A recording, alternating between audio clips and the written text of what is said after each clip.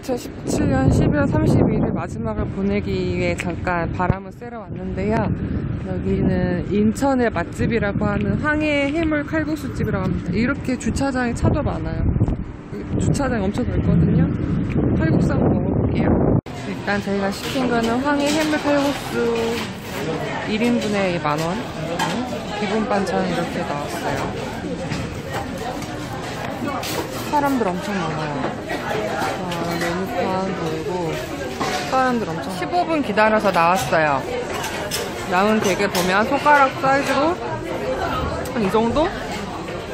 큰 거 같은데? 이거 좀 이렇게 이렇게 이렇게 해줘. 이렇게 이렇게 이렇게 이렇게. 맛있어 보여요. 와. 음, 네. 조기가 많이 들어가 있거든요. 맛있게 먹겠습니다. 다 먹었어요.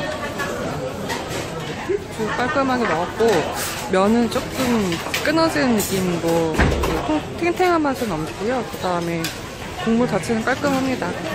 황해 해물 칼국수 먹고 나왔는데 사람들 엄청 많이 기다리고 있네요. 음. 근처 바닷가 왔어요. 해돋이는 못 봐도 바다는 보고 노래를 마무리해야죠.